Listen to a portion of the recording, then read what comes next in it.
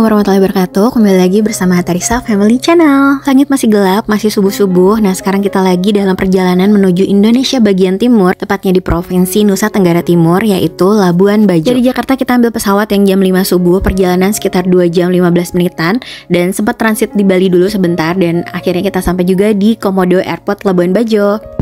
Nah dari Jakarta dan Labuan Bajo ini ada perbedaan waktu sekitar satu jaman, lebih cepat satu jam di sini. Dan kita baru keluar bandara itu setelah nunggu bagasi dan sebagainya itu sekitar jam 9 atau setengah sepuluhan. Tempat pertama yang bakal kita datengin adalah Local Collection Hotel. Nah ini kita perginya ke sana itu naik taksi yang ada di bandara. Taksinya kayak mobil-mobil Avanza gitu. Kita bayar 100 ribu untuk sampai ke hotel tempat kita mau nginep dan jaraknya sekitar dua setengah kilometer, sekitar 10 menitan. 100 ribu 10 menitan gimana tuh menurut kalian? Nah ini sekilas pemandangan yang kita lewatin menuju hotel. Masya Allah cantik banget. Sebenarnya ini pelabuhan ya tempat kapal-kapal itu bermuara. Nah, Ini dia Local Collection Hotel yang cukup terkenal di sosmed Karena kemiripannya dengan Santorini di Yunani. Nah ini staffnya ramah banget. Nah kita baru mau check in Kita sebenarnya boleh baru masuk kamar itu jam 2 Sedangkan kita nyampe di situ tuh sekitar jam 10-an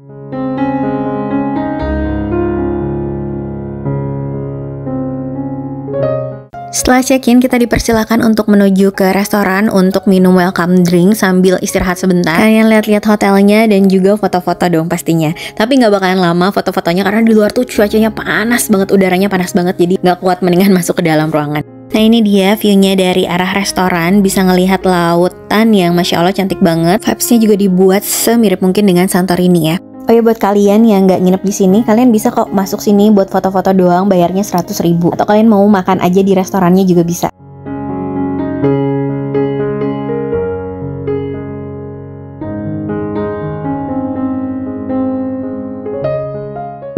Nah karena waktu buat masuk kamarnya masih lama, akhirnya kita mutusin buat keliling-keliling kota Labuan Bajo, lihat-lihat sebentar. Nah ini kita minjem salah satu motornya staff hotel dengan baik hatinya dia nawarin kalau mau jalan-jalan, lihat-lihat atau ada yang mau dibeli, silahkan pakai motor saya aja. Tapi tentunya nanti kita kasih tips ya, karena kan kita pakai bensinnya. Nah ini nih ada kios-kios estetik cantik banget di dekat laut. Nanti kalau malam itu dia rame banget tempat makan-makan. Nah di sebelah kanan ini ada Hotel Merorah yang dipakai juga pada saat KTT ASEAN ke-42 kemarin. Akhirnya kita mutusin buat parkir di sini karena ada beberapa motor parkir juga. Awalnya cukup bingung karena orang parkir motor tuh di pinggir-pinggir jalan satu-satu dan gak ada tukang parkirnya. Saman itu kali ya kotanya. Ya kita menemukan KFC dan juga Starbucks di sini ada beberapa ATM juga dan juga ada Kimia Farma. Di seberangnya juga ada masjid. Selama kita ngeliling kota ini adalah satu dua masjid yang agak gedean yang kita temuin. Dan kita baru tahu kalau ternyata tempat ini tuh ibaratnya kayak mallnya gitu loh di sini. Di sini tuh ada dua lantai dan atasnya itu ada tempat makan-makan juga. Dan jarak dari hotel tadi ke tempat ini tuh misalnya kalian mau belanja buat makan-makan, ya itu sekitaran 5 menitan kalau naik motor. Oke setelah kita makan dan beli-beli cemilan buat di hotel Akhirnya kita balik ke hotel Dan ini kita keluar di lift Liftnya tuh cuma sampai lantai 6 aja guys Dan setelah itu kita harus jalan menuju puncak Kamarnya karena ada di atas pakai tangga kayak gitu Nah, Local Collection Hotel ini merupakan hotel bintang 4 yang memiliki 11 tipe kamar. Mulai dari yang standar di harga 1,2, 1,3, 1,4 sampai yang suite itu di harga 12 jutaan per malam. Akhirnya kita mutusin buat ngambil kamar yang standar aja tapi harganya cukup penoho karena kita ke sini tuh H plus 3 lebaran hari ketiga lebaran dan cukup dadakan ke sininya kita dapat di harga 1,8 untuk kamar standar yang levelnya paling kecil ya paling bawah di sini. Oke kita lihat kamarnya Nah ini dia kamarnya. Kita dapat di lantai kedua dari atas. Itu kita dapat di paling pinggir. Cukup ngos-ngosan naik ke atasnya naik tangganya. Mana udaranya panas banget. Pertama tadi kita lihat wastafel. Terus di sini juga ada shower dapat sampo dan juga sabun. Dan dipisah antara uh, kamar mandi shower dan juga toiletnya. Dengan berharap ada bathtub ya di sini karena memang kamarnya standar. Dan mungkin kalau kita booking di hari normal mungkin ya harganya masih worth it lah. Nah di sini ada hair dryer, terus belakangnya tempat tidurnya itu batu-batu kayak gini, cukup bersih.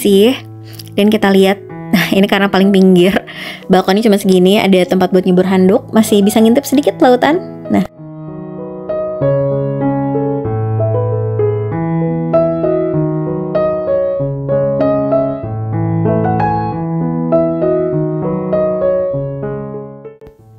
kita dapat kopi, kopi asli dari Labuan Bajo namanya kopi Warmor.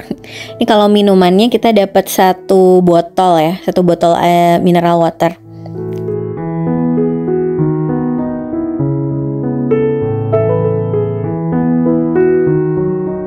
Selain buat foto-foto, tempat ini juga ada spanya dan juga menyediakan fasilitas full day trip atau night trip kalau misalnya kita mau wisata ke Pulau Komodo ataupun ke Pulau Padar dan lain-lain. Nah, habis ini kita mau istirahat sebentar, nanti sore pas sunset kita mau lihat pemandangannya, menikmati sunset dan juga foto-foto. Sekarang udah sekitar jam 5an, masih panas banget tapi udaranya. Ini salah satu kamar yang ada private poolnya. Nah, inilah pemandangannya 10 menit aja di luar keringet udah banyak banget gitu tapi sunsetnya masih belum kelihatan jadi kita foto-foto dulu aja Nah di sebelah kiri sini juga ada kolam renang yang ramean sih ini tapi akses masuknya itu dari kamar masing-masing gitu.